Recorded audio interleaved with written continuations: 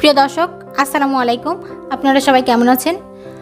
আজকে আমি আপনাদের সামনে নবম এবং দশম শ্রেণির অনুশীলনী তিন দশমিক দুইয়ের বারো নং প্রশ্নের সমাধানটি অত্যন্ত সহজ পদ্ধতিতে দেখাবো। তার আগে বলে রাখি, আপনারা যদি আমার চ্যানেলটি সাবস্ক্রাইব না করে থাকেন, তো এখনই পাশে থাকা বেল আইকনটি ক্লিক করে আমাদের চ্যানেলটি সাবস্ক্রাইব করে আমাদের সঙ্গে থাকুন। অবশ্যই ভিডিওটি শেষ পর্যন্ত দেখবেন এবং আমাদের সঙ্গে থাকবেন। তো চলুন, ভিডিওটি শুরু করা যাক।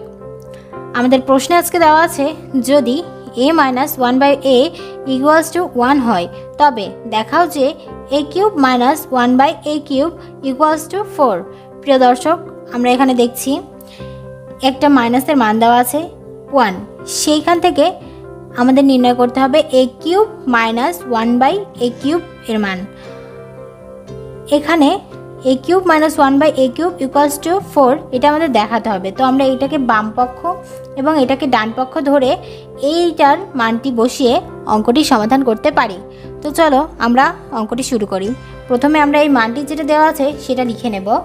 দেওয়া আছে। দেওয়া আছে a minus one by a equals to one এখন আমাদের এটাকে যদি বাম পক্ষ এবং এটাকে যদি ডান পক্ষ ধরে নিই, তো আমরা লিখে নিতে পারি left hand side left hand side দেওয়া আছে a cube minus one by a cube প্রিয় দর্শক, আমরা এখানে দেখছি a cube minus b cube এখানে আমরা এ কিউব মাইনাস বি কিউবের সূত্রটি দিয়ে আমরা অঙ্কটি সমাধান করতে পারি। তো আমরা এ কিউব মাইনাস বি কিউবের সূত্র কি জানি? A minus b whole cube minus three a b into a minus b তো আমরা এখানে সূত্রটি আগে লিখে নিই। এ মাইনাস বি তার whole cube plus three a b into a minus b. A আর এ আমরা এখানে কেটে দিতে পারি। তো এ আর এ কেটে দিলাম। প্রিয় দর্শক, খেয়াল করে দেখো, a minus one, a minus one by a এর একটি মাইনাস আছে, সেটা হচ্ছে ওয়ান। তো আমরা এখানে ওয়ান বসিয়ে দিতে পারি। ওয়ানকে আমরা যদি কিউব উপরে লিখব তার কিউব প্লাস থ্রিকে ওয়ান দ্বারা যদি গুণ করি, তাহলে থ্রি পাওয়া যায়।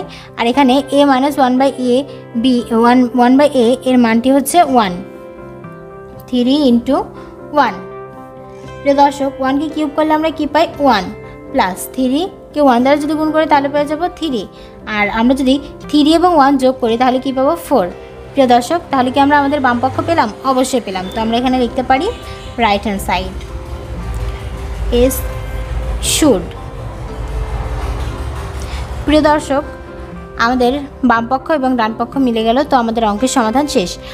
আজকে আমাদের অঙ্কের সমাধানটি left hand side is equal to right hand side প্রিয় দর্শক, আমাদের ভিডিওটি আপনাদের কেমন লাগল অবশ্যই কমেন্ট বক্সে জানাবেন এবং আমাদের চ্যানেলটি সাবস্ক্রাইব লাইক এবং শেয়ারের মাধ্যমে আমাদের সঙ্গে থাকবেন। ধন্যবাদ সকলকে।